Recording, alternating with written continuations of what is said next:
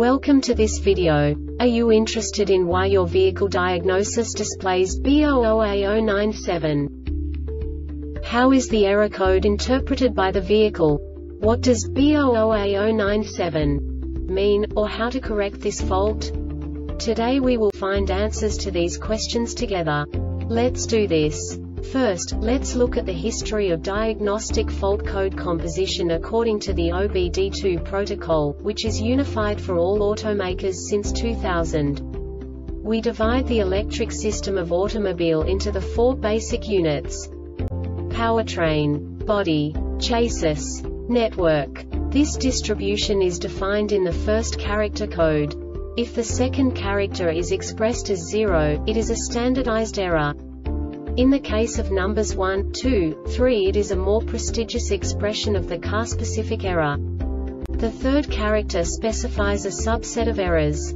The distribution shown is valid only for the standardized DTC code. Only the last two characters define the specific fault of the group. The add-on to the error code serves to specify the status in more detail. For example, a short to the ground. Let's not forget that such a division is valid only if the other character code is expressed by the number 0. Our website airbagreset.sk produces useful videos for you. You do not have to go through the OBD2 protocol anymore to know how to troubleshoot any car breakdown. You will find all the diagnostic codes that can be diagnosed in a Lincoln vehicles. Also many other useful things. The following demonstration will help you look into the world of software for car control units. You unbelievably can move the video a bit further. The error code is split into two bytes consisting of 16 bits. One bit is the basic unit that each computer works with. The bit has two logical states. 0, low level, 1, high level. By combining the first two bits, the basic character of the error code is expressed. The next two beats again determine the second character. The last beat styles of the first byte define the third character of the code. The second byte is composed of a combination of 8 bits. The first 4 bits determine the fourth character of the code.